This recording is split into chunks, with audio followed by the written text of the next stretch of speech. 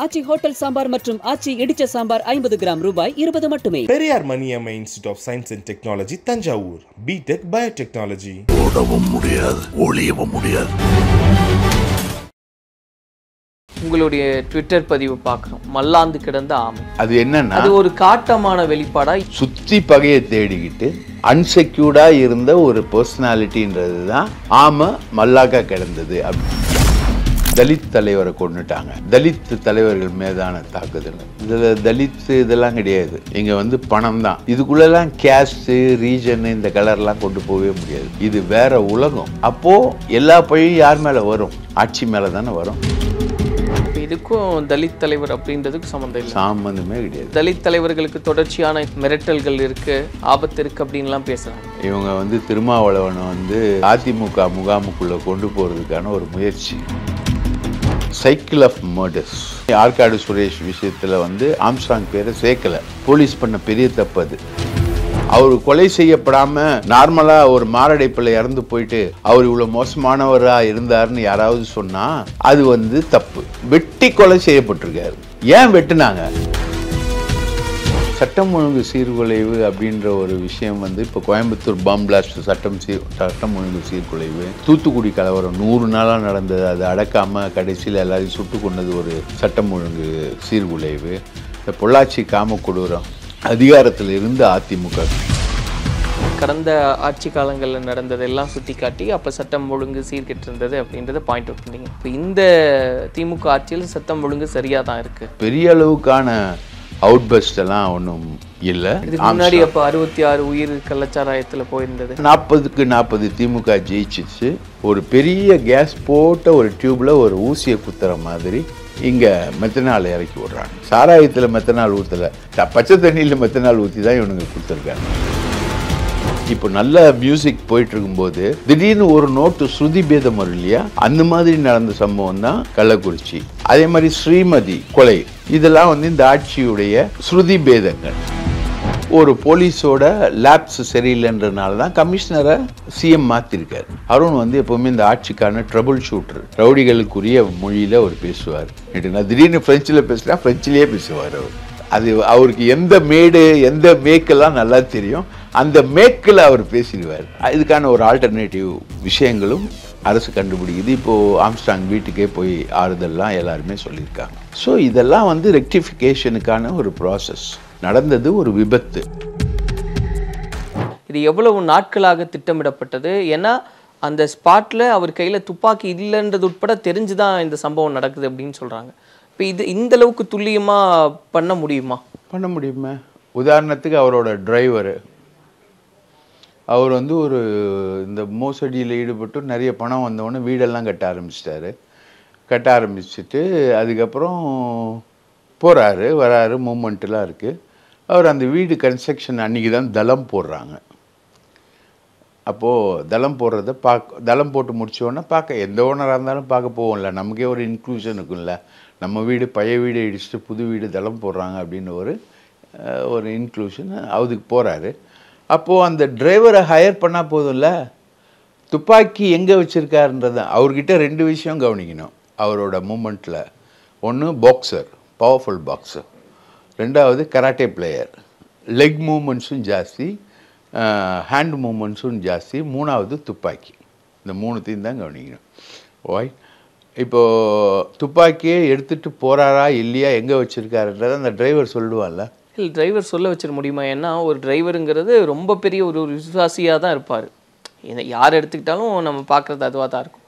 ஆனால் சில சந்தர்ப்பங்கள் அவங்கனாலையும் அது நடக்கிறதுக்கான வாய்ப்பு இருக்குது நீங்கள் சொன்ன மாதிரி. இந்த கேஸில் அப்படி நடந்திருக்கா? இந்த கேஸில் அப்படி நடந்திருக்கான்னு தெரியல. அதான் கேட்குறேன் பட் டிரைவர் இதில் காயமே படல. கார் வந்து அந்த சின்ன சந்துன்றதால மூலையில் நிற்க வச்சுட்டு மூவ் ஆயிருக்காரு. இவரோட துப்பாக்கி அவர் கையில் இருக்கா இல்லையான்ற தகவலை வந்து சொல்கிறதுக்கு ஆள் இருந்திருக்கு. அது யாருன்னு தெரியல. மேபி டிரைவர் ஆல்சோ நான் டிரைவரை குற்றம் சொல்லலை. மேபி டிரைவர் இருக்கலாம். பாசிபிலிட்டி இருக்கு. ஃபஸ்ட்டு வந்தோன்னே அவங்க வெட்டினது காலை. ரைட்டா ரெண்டாவது கையை ரைட் ஹேண்டை வெட்டுறாங்க. முழுக்க இந்த முழங்கை வந்து துண்டிக்கிற அளவுக்கு வெட்டப்பட்டிருக்கு. காலை வெட்டியிருக்காங்க. அதுக்கடுத்தது இதயத்திலேருந்து ஆக்சிஜன் நரம்பு கொண்டு போகிற அந்த கழுத்து பகுதியை வெட்டியிருக்காங்க. ஸோ இந்த மூணுத்தையும் குறி வச்சு தான் பண்ணியிருக்காங்க ரைட்டா அதுக்கப்புறம் எதிர்க்க வந்த அண்ணனை வந்து மண்டையில் போட்டிருக்கானுங்க. செஸ்ட்டில் ரெண்டு மூணு கீரல் போட்டிருக்கானுங்க. ஒரு அவருக்கு இருபத்தேழு தையல் உயர அளவுக்கு போயிருக்கு. இன்னொருத்தர் பாலாஜின்றவர் வெட்டுப்பட்டிருக்காரு. இவ்வளவும் நடந்திருக்கு. ஸோ இவர் விஷயத்தில் இதை தான் கவனிச்சிருக்கானுங்க. அப்போது இன்னொன்று சொல்கிறாங்க அவர் வந்து வீட்டுக்கு போகும்போது துப்பாக்கிலாம் எடுத்துகிட்டு போக மாட்டார் அப்படின்னு. கேர்லெஸ்னஸ் தான். ஒரு ஆமைன்றது வந்து இப்படி இருந்தால் தான் ஆமை. இப்படி படுத்தா? எந்த மிருகம் வேணால் அடிக்க ஒன்று இப்படி நீ இருந்தனா கூட்டுக்குள்ளே தலையை இழுத்துக்கிட்டின்னா எந்த மிருகம் உன்னை எது பண்ணாலும் ஒன்றும் பண்ண முடியாது. அதுக்கு அந்த கூட்டு ப்ரொடெக்ஷன் இந்த விஷயங்களுக்குள்ள ஆம்ஸ்ட்ராங்குக்கு கான்சன்ட்ரேஷன் இல்லாமல் போயிடுச்சு. உங்களுடைய ட்விட்டர் பதிவு பார்க்குறோம். ஆரம்பத்திலிருந்து ஒரு நல்ல நண்பர் அப்படின்றதையும் குறிப்பிடுறீங்க. அப்போ இருந்தே பழக்கம் இருக்குது நிறைய பகையை சம்பாரிச்சுக்கிட்டாரு. பாதுகாப்பு இல்லாத ஒரு சூழல் இருக்குது இதெல்லாம் சொல்லிட்டு மல்லாந்து கிடந்த ஆமை. அதுதான். அது என்னன்னா அது ஒரு காட்டமான வெளிப்பாடா? எப்படி அந்த வார்த்தையை புரிஞ்சுக்கிறது? ஏன்னா அஹ், நீங்க அவருக்கான ஆதரவாளர்கள் அந்த மல்லாந்து கிடந்த ஆமைன்ற வார்த்தையை பார்க்கும்போது கோபம் வரும். ஆ ரைட் அது கரெக்டு அது எதுக்கு சொல்கிறேன்னா ஏன் சொல்கிறேன்னா அந்த ஏன்னா ட்விட்டரில் உங்களுக்கு நாலு லைன் தான் ஸ்பேஸ் கம்மி. அதுக்குள்ளே அந்த விஷயத்த சொல்லணும்னா இப்போ நான் சொன்ன விளக்கம் தான். அன்செக்யூர்டாக இருந்தார். தன்னை பாதுகாத்து கொள்வதற்கான முயற்சிகள் எதுவுமே இல்லாமல் சுற்றி பகையை தேடிக்கிட்டு அன்செக்யூர்டாக இருந்த ஒரு பர்சனாலிட்டின்றது தான் ஆமாம் மல்லாக்கா கிடந்தது அப்படின்றத வந்து நம்ம அப்படி சொன்னோம் இந்த வார்த்தை. ஒரு நண்பர் இப்படி இருக்காரேன்றது அந்த மாதிரி எடுத்துக்கலாம். அந்த மாதிரி தான் ஒரு நண்பர் இப்படி இருந்தாரு அப்படின்றது தான் ஆம்ஸ்டாங்கோட நல்ல காரியங்கள்லாம் எனக்கும் பிடிக்கும். நல்ல விஷயங்கள் இப்போ பாராஜித் சொல்கிறதும் இன்னொரு பையன் தமிழ் பிரபான்னு ஒரு பையன். நான் ஜூனியர் உடனில் ரிப்போர்ட்டர் அந்த பையன் அவன் தான் மதராஸ் அந்த பாக்ஸிங் பாக்ஸிங் சர்பட்டா கதை எழுதின பையன். அவன் எழுதுகிற பதிவுகளும் பார்க்கும்போது உண்மைதான். அப்படிலாம் இருந்தார் தான் அவருக்கான நல்ல குணங்கள்லாம் உண்டு. நம்ம அதெல்லாம் மறுக்கலை. ஆனால் அவருக்கான நெகட்டிவான குணங்களும் உண்டு. அந்த நெகட்டிவ் வந்து இந்த பாசிட்டிவை முழுங்கக்கூடிய ஒரு ஸ்டேஜுக்கு போனதுன்றது தான் அவரோட ஒரு முடிவுக்கு காரணம். அவர் முடிவுக்கு அவரும் ஒரு காரணம். அது பின்னாடி இவ்வளோ பெரிய சதியும் இருந்திருக்கு. அது அனுமதிச்சதற்கு அனுமதிச்சிருக்காங்க இல்லையா?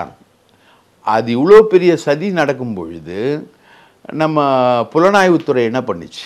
போலீஸ் இப்போது திண்டுக்கல் மோகன் ராம்லாம் மொபிலைஸ் ஆகி வராங்கன்னா இவங்க மூமெண்ட்டை என்ன பார்த்தாங்க இவங்க? அப்போது ஆர்கனைஸ்டு ஓசிஐயுன்னு ஒன்று இருக்குது counter intelligence unit organised crime intelligence யூனிட்னு ஒன்று இருக்குது அதுக்கு ஒரு எஸ்பி ஒருத்தர் போட்டிருக்காங்க. அவங்க வேலையே இதுதான் இந்த மாதிரி மூமெண்ட் எங்கேயாவது இருக்கா? ஏதாவது ஒரு சதி திட்டத்தை நிறைவேற்றுறதுக்கு போகிறாங்களா இப்போ தேவர் ஜெயந்தி நடக்குது இமானுவேல் சேகரன் நினைவு நாள் வருது அதுக்குள்ளே என்ன லாண்ட் ஆர்டர் ப்ராப்ளம் வரும்? இல்லை ரவுடி எலிமெண்ட்ஸோட மூமெண்ட்டு எப்படி இருக்கு அப்படின்ற மாதிரி இருக்கு. குறிப்பாக பார்த்தீங்கன்னா திண்டுக்கல் மோகன் ராம் ஏ ஒன் அக்யூஸ்டு பல கேஸில் அவரை இது வரைக்கும் கிட்ட கூட யாரும் போக முடியல. அன்ட்ரேசபிள் சீர்காழி சத்யா அவருக்கு ரைட் ஹேண்டாக பிடிச்சிடுறாங்க. நம்ம சென்னை நகர கமிஷனராக இருக்க அருண் தான் வந்து லா அண்ட் ஆர்டர் ஏடிஜிபியாக இருக்கும்போது தான் அவரை பிடிக்கிறார். அந்த அளவுக்கு அவர் சேஸ் பண்ணார். ஆனால் திண்டுக்கல் மோகன் ராம சேஸ் பண்ணவே முடியல இன்னைக்கு வரைக்கும். ஏன் முடியல? அப்போது இவ்வளோ பெரிய கான்ஸ்பிரசி இருக்கான்றதை வந்து அந்த ஓசிஐயு தானே கண்டுபிடிக்கணும். அவங்க என்ன பண்ணிக்கிட்டு இருந்தாங்க? இது போலீஸ் டிபார்ட்மெண்ட்டோட ஒரு ஃபெயிலியர் ஃபெயிலியர் குறிப்பாக அந்த ஓசிஐயோட ஃபெயிலியர் இவ்வளோ பெரிய மூமெண்ட் எப்படி நடந்தது? சென்னை நகருக்குள்ளே எப்படி நடந்தது? எங்கே ஃபெயிலியர் ஆச்சு? எங்கே லேப்ஸ் ஆச்சு? இவ்வளோ பெரிய மூமெண்ட் நடந்தது இல்லையா? இவ்வளோ ஆர்கனைஸ்டாக வராங்க இல்லையா? யாரோ ஒருத்தர் வெளிநாட்டிலேருந்து ஃபைனான்ஸ் பண்ணுறாரு இங்கே ஆர்கனைஸ் ஆகுது. இங்கே அஃபென்ஸ் நடக்குது. அதை ஏற்றுக்கிறாங்க இதுக்கெல்லாம் பணம் போயிருக்குல்ல? எப்படி போச்சு? அந்த டிரான்சாக்ஷன் என்ன? எந்த அக்கௌண்ட்டில் போச்சு? எப்படி இதெல்லாம் டிஸ்ட்ரிபியூட் ஆச்சு. அது எண்ட் ஆஃப் த இது வந்து ஆம்ஸ்ட்ராங்குடைய முடிவில் போய் நிற்கிது யாருக்கு கெட்ட பேர்? இப்போ இந்த பத்து கோடி கை மாறுறதுன்றது பேசப்பட்டதா இல்லை மாறியாச்சு? மாறியாச்சுன்றது நமக்கு கிடைக்கக்கூடிய தகவல். ரைட்டுங்களா? நமக்கு நம்மளுடைய சோர்சஸ் என்னோட சோர்சஸ் சொல்லக்கூடிய ஒரு தகவல். இது வந்து நீங்கள் நாளைக்கு கோர்ட்டில் நிறுத்திட்டு மாறிச்சுன்னா எந்த பேங்க்கில் மாறிச்சுன்னு கேட்டிங்கன்னா எனக்கு தெரியாது. எனக்கு என்னால் சொல்ல முடியாது. பட் திஸ் ஹஸ் ஹேப்பன் இங்கே வந்து இப்போது திண்டுக்கல் மோகன் ராம்லாம் கிட்டத்தட்ட தாவூத் இப்ராஹிம் மாதிரி இருக்கார். எப்படி இருக்க முடியுது? எப்படி இந்த மூமெண்ட் வந்து இருக்குது? என்ன இது? இப்படி இருந்தால் யார் சேஃப்டியாக இருக்க முடியும்? நாளைக்கு எனக்கே வெட்டு வரலாம். என் அண்ணன் கூட சொன்னார் தம்பி கவனமாக இருங்க. கவனமாக தான் இருக்கும். நம்ம நம்ம வேலையை தான் சொல்கிறோம் நம்ம வேலையை தான் செய்கிறோம் அதை மீறி வெட்டு வந்தால் நம்ம என்ன பண்ண முடியும்? செத்து தொலைய வேண்டிதான் இவ்வளோதான் வாழ்க்கை. ஸோ இதுக்கான விஷயங்கள் எங்கே? அப்போது எல்லா பழியும் யார் மேலே வரும்? ஆட்சி மேலே தானே வரும். இப்போ அதுக்கான விஷயங்களுக்குள்ளே இதை என்ன பண்ணுறாங்க தலித் தலைவரை கொண்டுட்டாங்க தலித் தலைவர்கள் மீதான தாக்குதல். இதில் தலித்து இதெல்லாம் கிடையாது. இங்கே வந்து பணம் தான் கிரைம் தான். ரைட்டுங்களா தாவூத் இப்ராஹிம் முஸ்லீமாக இருக்கிறதுனால அவன் வந்து இன்னொருத்தரை இன்னொரு ரவுடி ஹிந்துவாக இருப்பான். இன்னொரு ரவுடி வேறு மாதிரி இருப்பான். எப்படி பஞ்சாபியாக இருப்பான். இன்னொரு ரவுடி ரஜ்புத்தாக இருப்பான். இதுக்குள்ளெல்லாம் கேஸ்ட்டு ரீஜனு இந்த கலர்லாம் கொண்டு போகவே முடியாது. இது வேறு உலகம். என்டர்லி வேறு ஒரு பிளாக் வேர்ல்டு இது. இந்த பிளாக் வேர்ல்டுக்குள்ளே நடக்கிறது யாருக்கும் எதுவுமே தெரியாது. இப்போ இதுக்கும் தலித் தலைவர் அப்படின்றதுக்கு சம்மந்தம் இல்லை. சாம்பந்தமே கிடையாது. ஆனால் நிறைய பேர் பேசும்போது தலித் தலைவர்களுக்கு தொடர்ச்சியான இந்த மாதிரியான சம்பவங்கள்லாம் இருக்கு மிரட்டல்கள் இருக்கு ஆபத்து இருக்கு அப்படின்லாம் பேசுறாங்களே. அது வந்து இம்மெச்சூர்டு தலித் தலைவர்கள் அப்படின்றது வந்து இவங்க வந்து திருமாவளவனை வந்து எடுத்துட்டு அவரை வந்து அதிமுக முகாமுக்குள்ளே கொண்டு போகிறதுக்கான ஒரு முயற்சி. அந்த முயற்சியுடைய பலனாக தான் இந்த மாதிரி ஒரு கேம்பெயினை வந்து அவங்க முன்னெடுக்கிறாங்க. அதுக்கு திரும்ப அவ்வளோ ஒன்றும் மரியாதை கொடுக்க மாட்டார். அவர் போகிறது மாதிரியும் இல்லை. அந்த மாதிரி விஷயங்களுக்குள்ளே திரும்பக்கான விஷயங்கள் இல்லை. இப்போது மாநில தலைவருக்கு பாதுகாப்பு இல்லைன்றாங்க. கே. பாலகிருஷ்ணன் ஒரு மாநில தலைவர் இருக்கார். சிபிஎம்ன்றது ஒரு அகில இந்திய கட்சி. கே. பாலகிருஷ்ணன் ஒரு மாநில தலைவர் இருக்கார். அவருக்கு என்ன பாதுகாப்பாக கொடுத்துக்கிட்டு இருக்காங்க? முத்தரசன் ஒருத்தர் இருக்கார். சிபிஐடைய மாநில தலைவர் அவருக்கு என்ன பாதுகாப்பு கொடுக்குறாங்களா? தோழர் நல்லகண்ணுன்னு ஒருத்தர் இருக்கார். தமிழகத்தோட விடிவெள்ளி அவருக்கு என்ன பாதுகாப்பு கொடுக்குறாங்களா? சங்கரையான்னு ஒருத்தர் இருந்தார். இப்போ தான் இறந்தார் சமீபத்தில் தான் இருந்தார். அவருக்கு என்ன பாதுகாப்பாக கொடுத்துக்கிட்டு இருக்காங்க. அதெல்லாம் இல்லை. நீங்கள் செல்வ பெருந்தகை திருமாவளவன் எல்லாருக்குமே வந்து பாதுகாப்பு என்பது வந்து அவங்கள சுற்றி இருக்கக்கூடிய தொண்டர்கள் தான். ஆம்ஸ்ட்ராங் விஷயத்தில் ஆம்ஸ்ட்ராங் வந்து அந்த தொண்டர்களையே அவாய்ட் பண்ணிட்டு தனியாக இருந்தார். ஒரு தனிமை விரும்பி மாதிரி ஒரு போக்கை வந்து அவர் கடைப்பிடிச்சிக்கிட்டு இருந்தார். அதுவும் அவருடைய மரணத்துக்கு ஒரு காரணமாக இருந்தது. ரெண்டாவது அவர் வந்து இந்த மாதிரி விஷயங்களில் தலையிடும் பொழுது அவருக்கான நெகட்டிவான விஷயங்கள் வரும். இப்போ ஒரே ஒரு சம்பவம் சொல்கிறேன் தம்பி. எந்த ரிப்போர்ட்டரை வந்து தாக்குறாங்க அப்படின்னு நீங்கள் பாருங்கள் நேசப்பிரபுன்னு இப்போ கூட சமீபத்தில் ஒரு ரிப்போர்ட்டர் தாக்கப்பட்டார். தாக்கப்பட்டார் வெட்டப்பட்டார் இருந்தாங்க. அவருக்கு நிழலான நடவடிக்கைகளுக்கும் சம்மந்தம் இருந்து.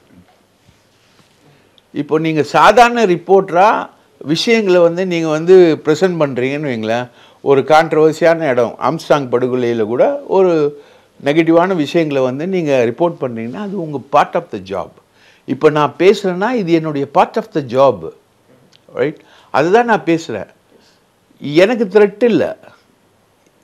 இத்தனைக்கும் ஆ- ஆம்ஸ்டாங்கோட எல்லா நண்பர்களும் எனக்கும் நண்பர்கள். எல்லாருமே எனக்கு நண்பர்கள். பல நண்பர்கள் இருக்காங்க எனக்கு. அவங்கெல்லாம் என் நண்பர்கள். அவங்களும் இன்னைக்கு வரைக்கும் என்னை வந்து கேட்டது கிடையாது. ஏன் இப்படி பேசுகிறீங்கன்னு but because we are telling the fact. அப்போது நீ நிழலான ஒரு விஷயத்தில் நிழலான ஒரு விஷயங்களில் நடக்கும் பொழுது உனக்கு நிழலான விஷயங்கள் தானே வரும். நீ எதை விதைக்கிறாயோ அதையே நீ அறுவடை செய்வாய். நீ கத்தியை தூக்கினானே தூக்கினாய் என்றால் கத்தியால் தான் சாவாய். இதுதான் உலக பொதுமொழி விஷயங்கள். அதுதான் இந்த விஷயத்துலையும் நடந்ததுன்னு நான் நினைக்கிறேன். இன்னைக்கு பா. ரஞ்சித் அவர்களுடைய ஒரு ஸ்டேட்மெண்ட் பார்க்குறோம்.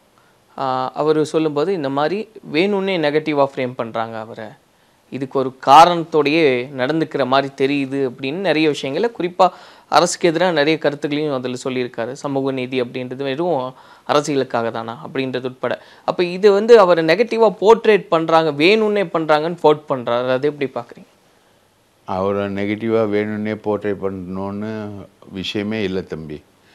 இந்த கொலையாளிகள் வந்து சொல்லக்கூடிய விஷயங்கள் ரைட்டா ஆற்காடு சுரேஷ் யார் அவருக்கும் இவருக்கும் பிரச்சனையே வந்து ஆருத்ராலேருந்து தான் ஆரம்பிக்குது. ரைட்டா? இந்த விஷயங்களோட எக்ஸ்டென்ஷனே ஃபுல்லாக ஆருத்ராலேருந்து தான் எக்ஸ்டென்ஷன் ஆகுது. ஆருத்ரால தான் இந்த கேஸோட இன்வெஸ்டிகேஷனே போயிட்டுருக்குன்னு வைங்களேன். ஸோ நெகட்டிவான விஷயங்கள் ஒன்றுமே கிடையாது. ஆற்காடு சுரேஷ் போன வருஷம் தான் கொல்லப்படுறாரு. ஒத்தகன் ஜெயபால்ன்றவர் தான் அவனை வந்து கொல்றாங்க. இவருக்கு கூட இருக்கக்கூடிய ஒரு ஆள் தென் அப்படின்ற ஒரு ஆளை வந்து அதுக்கு மு- ரெண்டு வருஷத்துக்கு முன்னாடி கொலை பண்ணுறாங்க சைக்கிள் ஆஃப் மர்டர்ஸ் தொடர்ச்சியாக நடக்குது. அப்படின்னும் போது அதுக்கும் நெகட்டிவான விஷயங்களுக்கும் என்ன சம்மந்தம் ஸோ இந்த கொலைகளில் எல்லாத்துலேயுமே ஆற்காடு சுரேஷ் விஷயத்தில் வந்து ஆம்ஸ்ட்ராங் பேரை சேர்க்கலை. போலீஸ் பண்ண பெரிய தப்பு அது. ஆம்ஸ்ட்ராங் பேர் சஸ்பெக்டட் அதில். அவரும் பாம் சரவணனும் ஒன்றா இருந்தாங்க அப்படின்றது தான் சஸ்பெக்ஷன் அந்த விஷயத்தில் ஆம்ஸ்ட்ராங்கோட பேரை வந்து எஃப்ஐஆரில் சேர்த்து இருந்திருக்கணும் சேர்க்கலை. அது இவங்க பண்ண ஒரு மிஸ்டேக் பல நடவடிக்கைகளில் நிழலாக தான் இவர் இருந்திருக்கார். ஆம்ஸ்டாங் பேக்ரவுண்டில் இருந்திருக்காரு. ஒன்று அவருக்கு தெரிஞ்சு நடந்திருக்கும். இல்லைன்னா செய்யி பார்த்துக்கலாம் அப்படின்னு. ஏன்னா இவருக்கு வந்து ஒரு வழக்கறிஞர் படை வந்து பின்புலமாக இருக்குது நிறைய வழக்கறிஞர்களை உருவாக்கி விட்டுருக்கார். ஒரு ஃபோன் அடித்தா நூறு வழக்கறிஞர்கள் வருவாங்க. இன்னொரு ஃபோன் அடித்தா இரநூறு வழக்கறிஞர்கள் வருவாங்க. அந்த மாதிரி தலித் வழக்கறிஞர்களுடைய தலைவராகவே இருந்து இவர் இருந்திருக்காரு. வழக்கறிஞர் சங்க தேர்தல்லையும் அமல்ராஜுக்கும் பிஜேபியில் எம்பி நின்னார் இல்லையா அவருக்கும் இடையில் வரக்கூடிய விஷயங்களையும் அவர் தலையீட்டு பண்ணியிருக்கார். இது மாதிரி நிறைய விஷயங்கள் அவர் பண்ணியிருக்கார். ஸோ இந்த விஷயங்கள் எல்லாமே வந்து இவருக்கு ஒரு நெகட்டிவான ஒரு லைன் வந்து இருந்தது அப்படின்றத வந்து சொல்லுது. இப்போ பா ரஞ்சித்துக்கு வந்து சின்ன வயசில் அவர் படிக்க உதவி பண்ணார். அவர் வந்து படம் எடுப்பதற்கான உதவிகளில் பாதுகாப்பாக ஆம்ஸ்ட்ராங் இருந்தார் அப்படின்றது பெரிய விஷயம் நல்ல விஷயம். ஒரு தலித்தியம் அப்படின்றத ஒரு விஷயம்ன்றத நம்ம எடுத்துக்கலாம். அந்த விஷயங்களில் இருக்கக்கூடிய நல்ல விஷயங்கள்லேருந்து இவர் வந்து பாரஞ்சித் வந்து ஆம்ஸ்டாங்கை சப்போர்ட் பண்ணலாம் பண்ணலாம். ஆனால் ஒரு கொலைன்னு வரும்பொழுது அதுக்கான காரணங்கள்னு வரும்பொழுது தான் அந்த கேள்விகள் வருது. அவர் கொலை செய்யப்படாமல் நார்மலாக ஒரு மாரடைப்பில் இறந்து போயிட்டு அவர் இவ்வளோ மோசமானவராக இருந்தார்னு யாராவது சொன்னால் அது வந்து தப்பு. அவர் வந்து வெட்டி கொலை செய்யப்பட்டிருக்காரு. ஏன் வெட்டுனாங்க? அப்படின்ற கேள்வி வரும்போது அதுக்கான காரணங்கள் வருது. காரணங்கள் வரும்போது அவரோட நிழலான நடவடிக்கைகள் வருது. நிழலான நடவடிக்கைகளுக்கு பின்னாடி நிழலான காரணங்கள் வருது. அதை தான் சொல்கிறாங்களே தவிர ஒரு பிளாக்கை வந்து பிளாக்குன்னு சொல்லணும் ரைட்டா நீங்கள் வந்து ஒரு பிளாக்கை வந்து சினிமாவில் கட்டுற மாதிரி ஒயிட் ஆக்க முடியாது. ரைட்டா காலா படத்தில் வந்து ஒட்டுமொத்த ஏரியாவும் அவர் கண்ட்ரோலில் இருக்குன்ற மாதிரிலாம் வந்து இதிலலாம் வராது. அங்கே அந்த சந்திலேயே அவரை வெட்டிட்டு ஓடும்போது கு எதிர்த்து கேட்க ஆள் இல்லை. எங்கே அந்த இமேஜ் இல்லையே எங்கேயுமே காணுமே. அப்போது அந்த விஷயங்கள் அந்த விஷயங்கள் தான். இதுக்கு பின்னாடி இருக்கக்கூடிய சதி எல்லாமே வந்து இப்போ இந்த ச சரண்டரான அக்யூஸ்டுகளை எல்லாரையும் இப்போ கஸ்டடியில் எடுக்க போகிறாங்க கஸ்டடியில் எடுத்து விசாரிப்பாங்க. இது வரைக்கும் கொலை பண்ண ஜாக்கெட்டு ரத்தம் இது சொன்ன கதைகளோட போலீஸ் வந்து சிறைக்கு அனுப்பியிருக்கு. ஒரு கொலை வழக்கை விசாரிக்கிறதுக்கு ஐம்பது நாட்கள் தேவை. இந்த அடுத்த ஐம்பது நாட்களில் எல்லா விஷயமும் வெளியில் வரும். இவங்க மட்டும் அக்யூஸ்டு கிடையாது. இவங்க வந்து அந்த பழி பழியை ஏற்றுக்கிட்டாங்க அதை பழிக்கு பழின்னு கொண்டு போகிறாங்க அதை தாண்டி இவ்வளோ பேர் அக்யூஸ்ட் இருக்கு இருக்கிறாங்க அப்படின்றத என்னுடைய நேரேஷனு இதில் பின்னணியில் நிறைய பேர் இருக்காங்க. யார் ஃப- அதான் திருமாவளவன் சொல்கிறா இல்லையா? யார் இதை செஞ்சாங்க? யார் இதை தூண்டுனாங்க? அதெல்லாம் கண்டுபிடிங்கன்னு திருமாவளவன் சொல்கிறா அது கரெக்டு யார் இதெல்லாம் தூண்டுனாங்க? இவ்வளோ பேர் தூண்டியிருக்காங்க. இவ்வளோ பேர் பின்னணியில் இருக்காங்க. ஃபைனான்ஸ் பண்ணப்பட்டிருக்கு.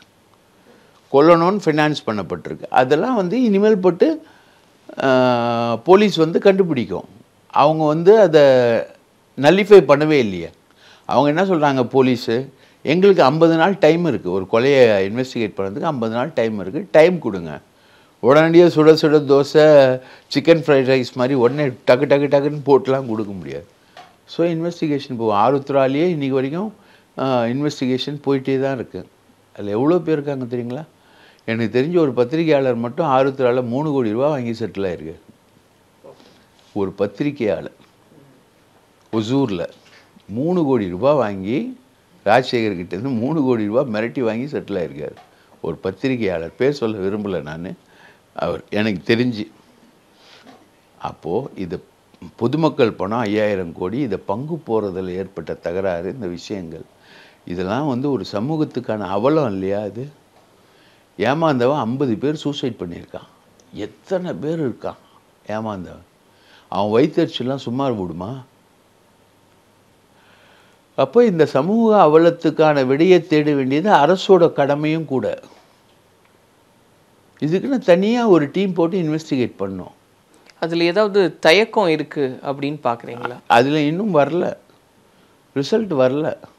ஏன்னா மாயாவதி அவர்கள் வராங்க சிபிஐ விசாரணை வேணும்னு கேட்குறாங்க பாரதிய ஜனதா கட்சியினுடைய தலைவர் அண்ணாமலை இது நாங்கள் மேலிடத்துக்கு நான் கொண்டு போவோம். இதை பற்றி விசாரிக்க வேணும் அப்படின்னு எல்லாருமே பேசுகிறாங்க ஆனால் இப்போ திமுக கூட்டணியில் இருக்கக்கூடிய அரசியல் தலைவர்கள் அவங்கெல்லாம் பேசும்போது ஒரு சாஃப்ட் அப்ரோச்சோடவே இருக்காங்கன்னு சொல்கிறாங்க அப்போ இது இன்னுமே வேகம் எடுக்கணுமா? வேகம் இல்லாமல் இருக்கா? எப்படி பார்க்க? அது அண்ணாமலை இதில் சம்மந்தப்பட்டிருக்காருன்றது ஒரு அலிகேஷன் ஆனால் அவரே கேட்குறாரு அவரே கேட்குறாரு சிபிஐ அதுதான். திருடிட்டு ஓடும்பொழுது திருடனும் ஓடுறவன் சொல்லுவான் திருடன் திருடன் திருடன் அந்த மாதிரி கதை தான் அண்ணாமலை பேசுகிற கதை. அண்ணாமலை பேசுறத விடுங்க. மாயாவதி பேசுறது வந்து ஒரு சப்ஸ்டன்ஸ் சிபிஐ விசாரணைக்கு. இப்போ இப்போ ஒரு ஃபேஷன் ஆகி போச்சு. சிபிஐ விசாரணை தேவை. இது எல்லாத்துக்கும். சிபிஐ விசாரணை ஏற்கனவே நடந்த குட்கா வழக்கில் இன்னும் சார்ஜ் ஷீட் போடவே இல்லை. இப்போ தான் நியூஸ் வந்து போட போகிறான்னு பொள்ளாச்சி காம கொடூரம் என்னாச்சு சிபிஐ இன்னைக்கு வரைக்கும் டேக் ஆஃபே ஆகலை. பொள்ளாச்சி ஜெயராமன் மகன் மீதும் பொள்ளாச்சி ஜெயராமன் மீதும் அதில் குற்றச்சாட்டு பொள்ளாச்சி ஜெயராமன் மகன் மீது குற்றச்சாட்டு வந்தது எழுப்பப்பட்டது. அது இன்னும் கண்டுபிடிக்கப்படவே இல்லை. அது அப்படியே நிற்கிது சிபிஐ வந்து ஜெயலலிதா சொன்ன மாதிரி வானத்திலிருந்து குதித்தவர்களா என்ன அப்படின்னு ஜெயலலிதா கேட்டால் அந்த மாதிரிலாம் கிடையாது. சிபிஐக்கு இல்லை. இப்போது ஆம்ஸ்டாங்கோட படுகொலை வந்து ஆருத்ரா வழக்கில் ஒரு பெரிய லைட்டை பாஸ் பண்ணியிருக்கு.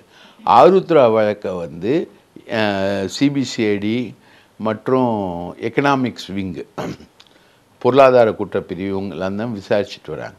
இதை வந்து ஒரு தனி ஆஃபீஸர் போட்டு இதுக்குன்னு தனியாக ஒரு ஆஃபீஸர் போட்டு இதை நம்ம விசாரிக்கிறதுக்கான வேலைகளை மாநில அரசு செய்யணும்னு நான் நினைக்கிறேன்.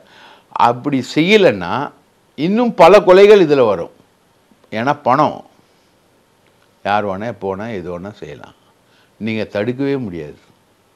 வெள்ளத்தை அணை கட்ட முடியல முடியாது. முடியுமா பெருவெள்ளத்தை வந்து சரியான நீர் நிர்வாகம் இல்லைன்னா அது என்ன ஆகும்? பெருவெள்ளம் ஊருக்குள்ளே பாஞ்சோடும். அது மாதிரி ஆருத்ரா மோசடின்றது மிகப்பெரிய மோசடி. இந்த என்பிஎஃப்சி எடப்பாடி பழனிசாமி ஆட்சி காலத்தில் ஆரம்பித்தது அது. என்பிஎஃப்சி நான் பேங்கிங் ஃபினான்ஸ் கம்பெனிஸில் ஏற்படக்கூடிய இந்த ஃப்ராடு ஆருத்ரா மாதிரி பல நிறுவனங்கள் இருக்குது ரைட்டுங்களா? இப்போ தான் அது புட்டிஸ்லாம் வர்றது கொஞ்சம் கொஞ்சமாக குறைஞ்சிருக்கு. ஒருத்தன் வந்து என் ஆடை பார்த்தாலே உங்களுக்கு ஐயாயிரம் ரூபாய் பணம் வரும்ன்றான். அவனை நம்பி நிறைய பேர் போகிறதுக்கு இருக்கான். போன ஆட்சியில் ஈமு கோழி. ஈமு கோழி வளர்த்து முட்டையை போட்டால் அதை நம்பி ஏமாந்துறதுக்கு ஒரு இதெல்லாம் மேஜராக அந்த கோயம்புத்தூர் சைடில் தான் நிறைய பேர் ஏமாறுவாங்க. அந்த மாதிரி இருக்கான். பப் பாசி. இப்போது சென்னை கமிஷனராக வந்திருக்கிறவர் வந்து பாசின்ற ஒரு நிதி நிறுவன மோசடியில் ஒரு போலீஸ் அதிகாரி சம்மந்தப்பட்டதை எஃப்ஐஆர் போட்டவர் தான் இப்போ சென்னை நகர கமிஷனராக வந்திருக்கார் அருண். அந்த மாதிரி நிறைய இருக்குது ஸோ இதெல்லாம் வந்து ரெகுலேட் பண்ணும். இதுக்கெல்லாம் வந்து உரிய நீதி விசாரணை நடக்கணும்.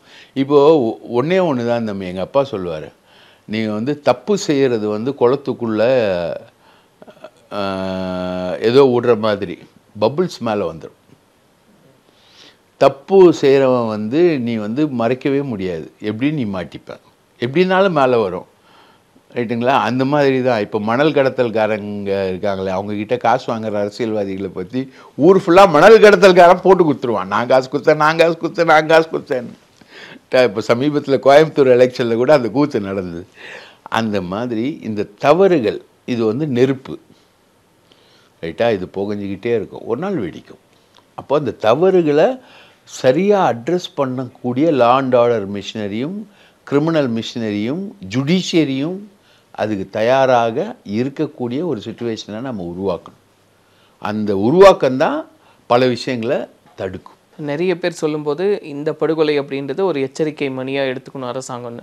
ஆனால் அவங்க சொல்கிற ஆங்கிள் அப்படின்றது ஒரு தலித் தலைவருக்கான பாதுகாப்பு இல்லைன்ற ஆங்கிள் ஆனால் நீங்களும் அதே தான் சொல்கிறீங்க ஒரு எச்சரிக்கை இதாக எடுத்துக்கணும். ஆனால் இதுக்கோட ஆங்கிள் வேறையாக இருக்குன்றதையும் நீங்கள் சொல்கிறீங்கன்னு புரிஞ்சுக்க முடியுது சார் இப்போ சீமான் அவர்கள் இது குறித்து பேசும்போது இந்த முப்பது நாட்களில் கிட்டத்தட்ட நூறுக்கும் மேற்பட்ட கொலைகளானது தொடர்ச்சியாக நடந்துக்கிட்டே இருக்குது அப்படி தான் இருக்குது அப்படின்னு சொல்கிறாரு இங்கே வந்து சட்டம் ஒழுங்கு சரியில்லை அப்படின்னு. அப்போ இ- இந்த நிகழ்வுகள்லாம் எப்படி பார்க்குறீங்க தொடர்ச்சியாக இது நடக்குது? சார் ஒரு வருஷத்தில் ஆயிரம் கொலைகள் கூட நடக்கும் சார். அதில் ஒரு எழுநூற்றம்பது கொலைகள் நீங்கள் பார்த்தீங்கன்னா குடும்ப தகராறு கள்ளத்தொடர்பு காதல் கொலை இந்த மாதிரி பர்சனல் ரீசன்ஸ்க்காக நடக்கும். சட்டம் ஒழுங்கு சீர்குலைவு அப்படின்ற ஒரு விஷயம் வந்து இப்போ கோயம்புத்தூர் பாம் பிளாஸ்ட் சட்டம் சீர் சட்டம் ஒழுங்கு சீர்குலைவு. தூத்துக்குடி கலவரம் நூறு நாளாக நடந்தது. அதை அடக்காமல் கடைசியில் எல்லாரையும் சுட்டு கொண்டது ஒரு சட்டம் ஒழுங்கு சீர்குலைவு. இந்த பொள்ளாச்சி காம கொடூரம் இது ஒரு அதிகாரத்தில் இருக்கக்கூடிய ஒரு குடும்பத்தை சார்ந்தவங்க அதிகாரத்தில் இருந்து அதிமுக கட்சி ஆட்சியில் இருக்கும்பொழுது நடந்த ஒரு பெண்களை காமத்தில் உள்ள உள்ளாக்கக்கூடிய விஷயம். ஒரு காலத்தில் நீங்கள் சென்னையில் பார்த்தீங்கன்னா செயின் ஸ்நாச்சிங் அதிகமாக இருக்கும். கட கட கட கட ஒரு நாளைக்கு இருபது ஸ்நாச்சிங் முப்பது ஸ்நாச்சிங் நடக்கும். இது வந்து ரோட்டில் நடந்து போனாலே செயினை பறிச்சிட்டான் அப்படின்னு ஒரே விஷுவலாக வந்துக்கிட்டு இது வந்து ஒரு சட்டம் ஒழுங்கு சீர்குலைவு பொதுமக்களுக்கு பாதுகாப்பு இல்லை அப்படின்றது ஒரு விஷயம். இந்த மாதிரி நடந்தால் தான் இந்த படுகொலையும் வந்து ஒரு போலீஸோட லேப்ஸ் சரியில்லைன்றனால தான் கமிஷனரை சிஎம் மாற்றிருக்காரு டிஜிபி அந்தஸ்திலான ஒரு அதிகாரியை மாற்றிட்டு அருண் வந்து இப்போ கமிஷனரை போட்டிருக்காங்க. அருண் வந்து எப்போவுமே இந்த ஆட்சிக்கான ட்ரபுள் ஷூட்ரு கலாச்சாராய சாவு வந்தப்போ கூட அவரை தான் வந்து பொறுப்பு அதிகாரியாக போட்டாங்க. அது மாதிரி அருணை இப்போது கமிஷனராகவே போட்டிருக்காங்க. ஸோ அவர் வந்து கண்ட்ரோல் பண்ணுவார்.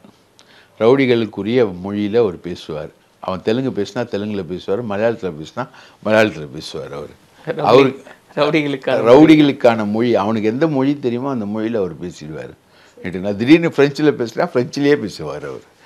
அது அவருக்கு எந்த மேடு எந்த மேக்கெல்லாம் நல்லா தெரியும் அந்த மேக்கில் அவர் பேசிடுவார். ஸோ இதுக்கான ஒரு ஆல்டர்னேட்டிவ் விஷயங்களும் அரசு கண்டுபிடிக்குது. இப்போது ஆம்ஸ்டாங் வீட்டுக்கே போய் ஆறுதல்லாம் எல்லாருமே சொல்லியிருக்காங்க. ஸோ இதெல்லாம் வந்து ரெக்டிஃபிகேஷனுக்கான ஒரு ப்ராசஸ் நடந்தது ஒரு விபத்து.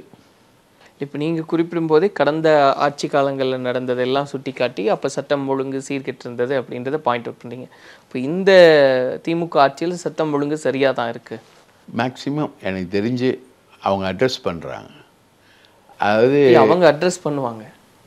நீங்கள் எப்படி பார்க்குறீங்க நான் இப்போ என்னை பொறுத்த வரைக்கும் இந்த ஆட்சியில் பெரிய அளவுக்கான அவுட்பஸ்ட் எல்லாம் ஒன்றும் இல்லை.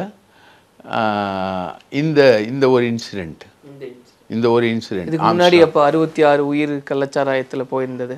அறுபத்தாறு உயிர் கள்ளச்சாராயத்தில் போனதும் இட் அது இட் இஸ் அ பேட் அது அதுவும் வந்து போலீஸ் துறையில் அதாவது மரக்காணத்தில் அந்த சம்பவம் நடந்தப்போ மகேஷ்குமார் அகர்வால்னு ஒரு அதிகாரி இருந்தார். ஏடிஜிபி இன்ஃபோர்ஸ்மெண்ட்டாக இருந்தார். அவர் வந்து மாதேஷ் என்கிற மதன். அந்த ஒருத்தன் தான் வந்து அதை சப்ளை பண்ணிக்கிட்டு இருந்தான். அவன் தான் இப்போது கலாச்சாரத்தை வந்து கள்ளக்குறிச்சியிலையும் சப்ளை பண்ணுறான் ஸோ இதில் நான் எதிர்பார்க்கறது ஒரு கான்ஸ்பிரசி என்னுடைய தேரி கள்ளக்குறிச்சியில் வந்து ஒரு கான்ஸ்பிரசி எப்படின்னா நாற்பதுக்கு நாற்பது திமுக ஜெயிச்சிச்சு. ரைட்டுங்களா? சட்டமன்ற கூட்டத்தொடருக்கு முந்தின நாள் விக்கிரவாண்டி எலெக்ஷன் நடக்கிறதுக்கு பக்கத்து ஊர். விக்கிரவாண்டி ஃபுல்லாக தேர்தல் ஆணையத்தை கண்ட்ரோலில் இருக்கக்கூடிய இடம். அங்கே செய்ய முடியாது அப்படின்றதுனால பக்கத்தில் கள்ளக்குறிச்சியில் ஒரு பெரிய கேஸ் போட்ட ஒரு டியூப்பில் ஒரு ஊசியை குத்துற மாதிரி இங்கே மெத்தனால் இறக்கி விட்றாங்க. மரகாணத்துலேயும் மெத்தனால் தான். Methanol to the percent ninety percent அங்கே. இங்கே வந்து methanol to the percent eight percent to twenty percent வரைக்கும் இங்கே மெத்தனால் யூஸ் பண்ணி மெத்தனாலில் வந்து வேறு ஒன்றும் கிடையாது. இவங்க கலத்து சாராயத்தில் மெத்தனால் ஊற்றலை பச்சை தண்ணியில் மெத்தனால் ஊற்றி தான் இவனுங்க கொடுத்துருக்காங்க. ஸோ இது வந்து ஒரு சதித்திட்டமாக கூட இருக்கலாம். ரைட்டுங்களா? அதுக்கான விஷயங்கள் கூட எதிர் இப்போ மகேஷ்குமார் அகர்வாலுக்கு ஒரு கேரக்டர் இருக்குது அவரோட ரிலேட்டிவ்ஸ் வந்து பிஜேபியில் டாப் பிராஸில் இருக்கிறதா சொல்கிறாங்க ஸோ இதுக்கான சதித்திட்டமாக கூட இருக்கலாம் கள்ளச்சாராயம். பட் கள்ளச்சாராயம் என்பது நீங்கள் சொல்கிற மாதிரி ஒரு ஸ்- ஸ்ருதி பேதம். இப்போ நல்ல மியூசிக் போயிட்டுருக்கும்போது திடீர்னு ஒரு நோட்டு ஸ்ருதி பேதம் வரும் இல்லையா? அந்த மாதிரி நடந்த சம்பவம் தான் கள்ளக்குறிச்சி. அதே மாதிரி ஸ்ரீமதி கொலை அதுவும் வந்து சைல இவர் சைலேந்திர பாபுன்ற ஒரு வால்டர் தேவாரத்தோட சிஷ்யன் ஒருத்தர் டிஜிபியாக இருந்து அவர் வந்து அந்த பள்ளி நிர்வாகத்துக்கு மேலே எந்த தப்பும் இல்லைன்னு சொன்னதுனால அங்கே வந்து பப்ளிக் அவுட்பஸ்ட் ஆகி அங்கே நடந்த கலவரம் ஸ்ரீமதியுடைய மரணம் அதில் இன்னைக்கு வரைக்கும் நியாயம் கிடைக்காம நாங்கள் உட்பட போராடிக்கிட்டு தான் இருக்கோம். இதெல்லாம் வந்து இந்த ஆட்சியுடைய ஸ்ருதி பேதங்கள். பட் இதுக்கான ரெக்டிஃபிகேஷன் ப்ராசஸ்லேயும் இந்த ஆட்சி வந்து இறங்குது. அதுக்கான நடவடிக்கைகளையும் எடுக்கிறாங்க அப்படின்றது ஒரு நம்பிக்கைக்குரிய. ஆனால் தவறுகள் இருக்குதானா? இருக்குது. மோசமாக இருக்குதானா? இருக்குது. மோசமான சம்பவங்கள் நடக்குதானா? நடக்குது. அதிலெல்லாம் மாற்று கருத்தில் சட்டம் ஒழுங்கில் கவனம் செலுத்த வேண்டிய விஷயங்கள் இந்த ஆட்சியில் இருக்குதானா இருக்குது. ஆனால் அதை ஒரேடியாக கொண்டு போயிட்டு தலித்துகளுக்கு எதிரான ஆட்சி அதுக்கு எதிரான ஆட்சி எப்படின்னு ஒரு நெரேஷனும் இது வந்து சிபிஐ விசாரணைக்கு போனோம் அப்படின்ற ஒரு நெரேஷன் இந்த ரெண்டு நெரேஷனுடைய நான் உடன்படல். நான் அதில் உடன்படல். ஆனால் தவறு நடக்குது தப்பு நடக்குது. அந்த தப்பை சரி செய்யணுமானா சரி செய்யணும். அது சரி செய்வதற்கான முயற்சி இருக்குது உதாரணத்துக்கு இப்போ அருணை கமிஷனராக போடுறது வந்து சிஎம் டைரெக்டாக காலையில் செக்ரட்டரி ஒன் முருகானந்தம் சாரை கூப்பிட்டு வா அந்த கமிஷனரை மாற்றிட்டு அருணை வந்து கமிஷனராக போடுன்னு ஸ்ட்ரைட்டாக யாரையுமே கன்சல்ட் பண்ணல. பொதுவாக அது மாதிரி விஷயங்களை பலரை கன்சல்ட் பண்ணுவாங்க. அந்த மாதிரி கன்சல்ட் பண்ணாமல் அருணை கமிஷனராக போடுன்னு சிஎம் பர்சனலாகவே இன்ட்ரெஸ்ட் எடுத்து அதிகாலையிலேயே அதுக்கான உத்தரவை பிறப்பிக்கிறார். ஸோ அவருக்கு இதில் அக்கறை இருக்குது அதுக்கப்புறம் தான் ஆம்ஸ்டாங் ஓட ரெசிடென்ஸ்க்கெலாம் போகிறார் அதெல்லாம் போகிறார் அதுக்கப்புறம் கமிஷனரை மாற்றிட்ட அப்புறம் அதுக்குரிய நடவடிக்கைகள் எடுத்த அப்புறம் ஒரு தைரியமாக போகிறார் இல்லை இல்லை மனசு உடன்பாட்டோட போகிறார் தைரியமாக இல்லை உடன்பாட்டோட போகிறார் ஆனால் அதுவே தாமதமாக தான் போனாருன்னு பேசப்படுது. ரைட்டு அதுக்கான அவர் பார்ப்பார் இல்லையா? ரெக்டிஃபிகேஷன் ப்ராசஸை பார்ப்பார் இல்லையா? அதை பார்த்துட்டு போகிறார் அவ்வளோ ஸோ அது அரசியலாக தான் பார்க்குறீங்க இப்போ வந்து அவர் வர்றது ஏன் தாமதமாக வர்றாரு? முன்னாடியே வந்திருக்கணும் இல்லையான்னுலாம் பேசப்படுது. முன்னாடியே வந்திருந்தானா மு க ஸ்டாலினுக்கு எதிராக தானே நீங்கள் கோஷம் போட்டுக்கிட்டு இருக்கீங்க ரோட்டில் ஸ்டாலினுக்கு எதிராக தானே நீங்கள் கோஷம் போடுறீங்க? அப்போ அந்த மாதிரி ஒரு லாண்ட் ஆர்டர் பஸ்டான சுச்சுவேஷனுக்குள்ளே ஒரு சிஎம் வந்தால் என்ன ஆகும்? வேறு ஏதாவது ஒரு இன்சிடெண்ட் ஆகலாம் இல்லையா? அதனால அவர் வரல. உடல் அடக்கம் முடிஞ்ச பிறகு குடும்பத்துக்கு போய் ஆறுதல் சொல்கிறார் இப்படி தானே செய்வாங்க? அதை செய்கிறாங்க அவ்வளோதான் இதில் என்ன இருக்குது அரசியல்? இதில் அரசியல் இல்லை. எதில் அரசியல் இருக்குன்னு பேசப்படுதுன்னா இப்போ திரும்ப அந்த பா. ரஞ்சித் அவர்களுடைய ஸ்டேட்மெண்ட்டை பார்க்கும்போது இவருடைய உடலை நல்லடக்கம் செய்யறதுக்கான ஒரு அனுமதி கோரப்பட்டது. இது நினச்சிருந்தா அரசே வந்து அதுக்கு வந்து அனுமதி கொடுத்துருக்கலாம். ஆனால் அது அவங்க நீதிமன்றத்துக்கு வழிகாட்டி நீதிமன்றம் ஒரு தீர்ப்பு கொடுக்குறாங்க. அதன் அடிப்படையில் ஒரு ஏற்பாடு நடந்து இந்த உடல் நல்லடக்கம் செய்யப்பட்டிருக்குன்னு. இது அப்போ திமுக அரசு இதை புறக்கணிக்கிறாங்க. அவங்களுடைய கோரிக்கையை நிராகரிக்கிறாங்கன்னு ஒரு பேச்சு வருது. கலைஞருக்கே கடற்கரை ஒதுக்கியது யாரு? சட்ட போராட்டத்தில் வந்தது. நீதிமன்றம் தானே? கலைஞருக்கே நீதிமன்றம்னும் போது ஆம்ஸ்டாங்குக்கு நீதிமன்றம் சொல்கிறது எப்படி நீங்கள் அரசியலாக பார்க்க முடியும்? இல்லை கலைஞருக்கு நீதிமன்றம் கொடுத்தாங்க. அந்த சமயத்தில் அன்னைக்கு ஆளும் அரசாங்கம் அந்த இடத்துல பெரிய லெவலில் அப்போஸ் பண்ணல. ஆனால் இதில் வந்து அப்போசிஷன் இருந்தது. அப்போசிஷன் அரசு சம்மதிக்கலையே கலைஞருக்கு. எதுக்கு அவங்க நீதிமன்றத்துக்கு போகிறாங்க கலைஞருக்கு கடற்கரையில் அண்ணாக்கு பக்கத்தில் கொடுக்கணுன்ற அந்த போராட்டத்துக்கு வில்சன் தான். வழக்கறிஞர் வில்சன் தான் அந்த போராட்டத்தை நடத்த. அதுக்கான அனுமதியை அன்னைக்கு இருந்த எடப்பாடி அரசு கொடுக்கல.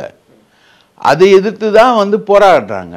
இங்கே வந்து இவருக்கு அந்த விஷயங்களுக்கான அப்ஜெக்ஷன் என்ன சொல்கிறாங்க அது வந்து பெரம்பூர். பெரம்பூரில் ஒரு சின்ன சந்து. ரைட்டா? அங்கே வந்து இருக்கக்கூடிய பி பிஎஸ்பியுடைய ஹெட் ஆஃபீஸு அதுக்குள்ளே நீங்கள் வந்து குடியிருப்பு பகுதி அது. அதுக்குள்ளே நினைவு நினைவகம் வந்து கட்ட முடியாது. அதுதான் அப்ஜெக்ஷன் நீங்கள் வேறு எந்த இடத்தாவது நீங்கள் ப்ரொஜெக்ட் பண்ணி கொடுங்க நாங்கள் கொடுக்குறோம். அப்படின்னு ஒரு இடத்துல வந்து ஒரு ரெண்டாயிரத்தி நானூறு ஸ்கொயர் ஃபீட்டு இடத்தையே காமிச்சாங்க. மார்க் பண்ணி கொடுத்தாங்க அரசு பக்கத்துலேயே. அது வேணான்னாங்க நாங்கள் பொதுட்டூருக்கு கொண்டு போயிடுறோம். அப்படின்னு சொல்லிட்டு இவங்க இவங்க இவங்க சொன்ன ப்ரப்போசல் தான். இவங்களுக்கு சொந்தமான நிலம் தான் அது. இவங்க ரிலேட்டிவ் காஞ்சனான்றவங்களுக்கு சொந்தமான நிலத்துல தான் அடக்கம் பண்ணாங்க. இதில் என்ன ரஞ்சித் பார்க்குறாரு ரஞ்சித் அவரோட ஸ்டேட்மெண்ட் இல்ல இல்ல ரஞ்சித் இயக்குனராக இருக்கலாம். ரைட்டுங்களா அதிலலாம் ரஞ்சித் வந்து ஒரு நல்ல இயக்குனராக இருக்கலாம். அதுக்குன்னு சொல்லிட்டு எல்லாத்துலேயும் அவருடைய கருத்துக்களை வந்து எல்லாருமே ஏற்றுக்க முடியாது. ஒரு இயக்குனரோட கருத்தை நாங்கள் படத்தோட பார்த்து ரசிச்சுட்டு போயிடுறோம். அதில் வந்து நாங்கள் முரண்படுவோம் பல இடங்களில். எங்களால் வெளியில் சொல்ல முடியாது. நீங்கள் இந்த மாதிரி விஷயங்களில் கருத்து சொன்னீங்கன்னா அதை எதிர்த்து கருத்துக்களும் பலது வெளியில் வரும். அதை ரஞ்சித் சந்திக்க தயாராக இருக்காரான்றதை ரஞ்சித் பார்த்துக்கிட்டோம். ஆனா இது அரசு சரியா தான் அது செயல் அரசு சரியாக தான் செஞ்சிருக்கு. ரெண்டு நாள் நீதிமன்ற போராட்டம் முழுக்க அரசு வந்து பொறுமையாக தான் ஹேண்டில் பண்ணியிருக்கு. இவங்க பண்ண இதெல்லாம் வந்து உணர்ச்சி வசப்பட்டு சென்னை நகர டிராஃபிக்கே மறிச்சாங்க. அதெல்லாம் பொறுமையாக ஹேண்டில் பண்ணாங்க. அதுக்கப்புறம் இருபத்தஞ்சி கிலோமீட்டர் பெரம்பூர் to அந்த அடக்கம் பண்ணுற இடம். அந்த இடத்த ஃபுல்லாக லா அண்ட் ஆர்டரை மெயின்டைன் பண்ணி பொறுமையாக எங்கேயுமே போலீஸ்காரங்களே போலீஸ் ஸ்டேஷனில் கிடையாது. சென்னை நகரம் முழுக்க. அமைதியா தானே? எல் இல்லை அமைதியாக தான் போச்சு. ஆனால் ப்ரிகாஷன் எடுக்கலைன்னா பாஞ்சிருவாங்கல்ல ஒரு நகை கடை இருக்குது பாஞ்சா? போகிற வழியில்?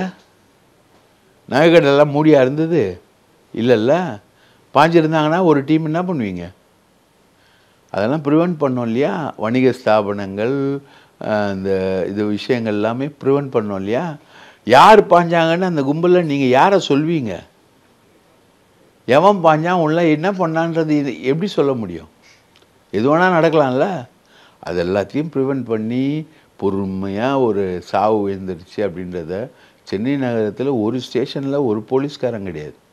எல்லாரும் சோத்தை மறந்து தண்ணியை மறந்து அங்கே நின்று ஆண் பெண் வித்தியாசம் இல்லாமல் நின்று மூவாயிரத்துக்கு அதிகம் மூவாயிரம் நாலாயிரத்துக்கு மேலே போலீஸார் நின்று அந்த ஊர்வலத்தை ஒழுங்கு பண்ணி பத்திரமா கொண்டு போய் அவர் அடக்கம் பண்ணி கொண்டு வந்து நிற்க வச்சுருக்காங்க. இதுக்கு மேலே ஒரு அரசு வந்து எப்படி செயல்பட முடியும்? ஒன்றும் பண்ண முடியாது. அப்ப அந்த கேள்வி நியாயம் இல்லாத அந்த கேள்வி அதாவது ரஞ்சித் ரஞ்சித்தோட அந்த கேள்வி வந்து குதர்க்கமான கேள்வி விஷமத்தனமான கேள்வி அது. விஷமத்தனமான கருத்து அது. வெறும் வாக்குக்கு மட்டும்தான் சமூக நீதியான்ற கேள்வியை நீங்க வாக்குக்கு மட்டும் இல்லைங்க சமூக நீதி. திராவிட இயக்கம் வந்து இடஒதுக்கீட்டுக்காக சமூக நீதிக்காக கம்யூனல் ஜீவோ காலத்திலேருந்து நீதி கட்சி காலத்திலேருந்து திராவிட இயக்கத்தோட போராட்டம் என்பது மிகப்பெரிய போராட்டம். அப்போல்லாம் ரஞ்சித்தோட தாத்தா கூட பிறந்திருக்க மாட்டார். அதெல்லாம் மிகப்பெரிய போராட்டம். அம்பேத்கரையும் பெரியாரையும் எல்லாரையும் வந்து அங்கீகரித்து நியாயீகரித்து நியாயப்படுத்தி அதுக்குள்ளே நிக் நிற்கக்கூடிய ஒரு சீர்திருத்த இயக்கம் தான் திராவிட இயக்கம். அதுக்குள்ளெல்லாம் இவங்க வந்து இவங்க என்ன கொண்டு வர்றாங்கன்னா pure Dalit ideology pure Dalit identity அதுவும் தப்புங்க.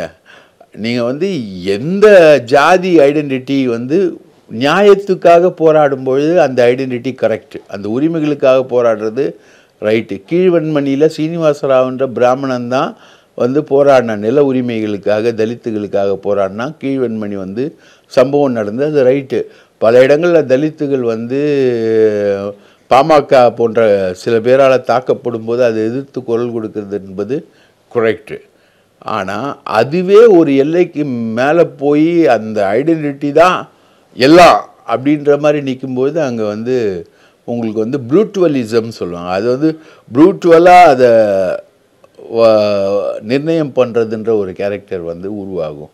அந்த கேரக்டர் வந்து எந்த நான் ஆண்ட பரம்பரை மீண்டும் ஒரு முறை ஆள நினைப்பதில் ஏது தடை? அப்படின்ற அந்த வன்னியர் சங்க கோஷமும் சரி ஆண்ட பரம்பரை மீண்டும் ஒரு முறை ஆள நினைப்பதில் ஏடுத்தடை அப்படின்ற அந்த கோஷமும் தப்பான ஒரு கோஷம். நீ ஆண்ட பரம்பரையாக இருக்கலாம். எல்லா பகுதி மக்களும் வசிக்கக்கூடிய ஒரு நாடு இது. விக்கிரவாண்டி தொகுதினா நாற்பத்தி மூணு பர்சன்ட்டு வன்னியர்கள் முப்பத்தஞ்சு பர்சன்ட் தலித்து முப்பத்தஞ்சு பர்சன்ட் தலித்து பிற வகுப்பினர்கள். மொத்தம் ஐம்பத்தேழு சதவீதம் வந்து மற்ற சாதிக்காரர்கள் இருக்காங்க. விக்கிரவாண்டியில். அப்போ எல்லாரும் வாழக்கூடிய நாடு. அதுவும் சென்னை மாதிரி நகரங்களில் தலித்துகள் மட்டும் இல்லை தலித்துகள் ஆதி குடி தான். சென்னையோட ஆதி குடி வந்து தலித்து தான். அதில் மாற்று கிடையாது. ரைட்டா? அவங்க தான் சென்னையோட ஆதிக்குடி நானும் சென்னைக்காரன் தான். எனக்கும் தெரியும் தலித்து தான் ஆதிக்குடி அதில் மாற்று கிடையாது. ஆனால் அவ் அதுவே சட்டம்னா எப்படி? ஆ? அந்த மாதிரி யார் வந்தாலும் சரி எந்த குரூப் வந்தாலும் சரி அதுக்கான ஒரு ஆதிக்கமான ஒரு விஷயங்களை பேசுறது என்பது வந்து யாராலையும் ஏற்றுக்க முடியாது. யாரோட சுப்ரீமசியும் ஏற்றுக்க முடியாது. இங்கே சுப்ரீமசி எதுனா டாக்டர் அம்பேத்கர் எழுதிய கான்ஸ்டியூஷன் தான் சுப்ரீமசி அதை பிஜேபி நினச்சி மாற்றினாலும் தப்பு. ரைட்டா பிராமணம் மாற்ற நினச்சாலும் தப்பு. வேற யார் மாற்ற நினைச்சாலும் தப்பு. யார் அதில் ஆதிக்கம் எடுத்தாலும் தப்பு. அந்த ஆதிக்கத்தை தகர்த்தெறிய எழுதப்பட்டது தான் இந்திய அரசியலமைப்பு சட்டம். அது எழுதினது அம்பேத்கர். ரைட்டா? அம்பேத்கர் தலைமையிலான ஒரு கமிட்டி. ரைட்டா? அதுக்கு அவர் தலைமை தாங்கினார். ஸோ இங்கே கான்ஸ்டியூஷன் தான். இன்றைக்கி இந்திய தேர்தலும் இங்கே நாற்பதுக்கு நாற்பது வந்து திமுக பெற்றதும் கான்ஸ்டியூஷனை முன்னிறுத்தி தான் பெற்றது. அந்த கான்ஸ்டியூஷனை அழிப்போன்னு வந்த பிஜேபி தான் மண்ணை கவிச்சு. அதனால் கான்ஸ்டியூஷனை மீறி நாங்கள் வேற அப்படின்றது வந்து உங்கள் இனவாத கோஷங்களுக்கு வேணால் உதவும். இந்த இனவாத கோஷம் அடிப்படையிலேயே இன்னொரு பிரிவினருக்கு எதிரானது. அது எல்லா இடத்துலையும் கூடாது அப்படின்றது எல்லா இடத்துலையும் கூடாது. யார் வந்து அந்த இனவாதத்தை பேசினாலும் சரி நான் உயர்ந்தவன்னு பிராமணன் பேசினாலும் தப்பு இன்னொருத்தன் பேசினாலும் தப்பு. நிறைய கருத்துக்களை பகிர்ந்திருக்கீங்க சார். சொன்ன போல இதுக்கான காரணங்கள் என்னவா இருக்கும் உள்ளிட்ட பல்வேறு கருத்துக்களை பகிர்ந்திருக்கீங்க. உங்களுடைய நேரத்திற்கு நன்றி. வாய்ப்புக்கு நன்றி.